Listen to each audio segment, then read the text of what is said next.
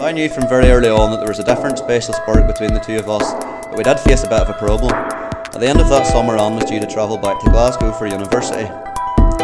They say absence makes the hearts grow fonder, and that was certainly the case with my thoughts for Anne.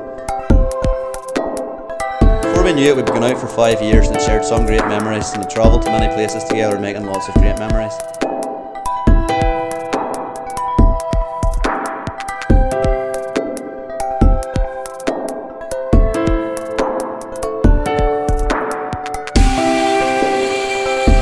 Every box for my perfect woman, and that's why I get down on one knee at Christmas 2016. You've made me the happiest man in the world here today, and I can't wait to spend the rest of my life with you. With exciting times ahead, and there's no one else you'd want to spend them with.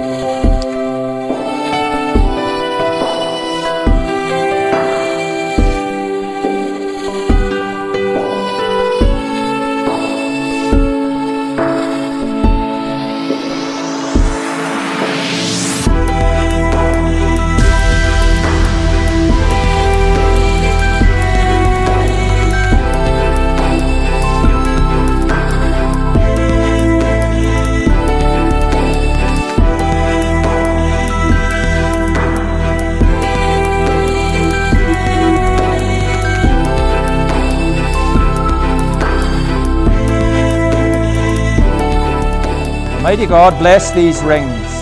They are symbols of faithfulness and unbroken love. May Turli and Anne always be true to each other. May they be one in heart and mind.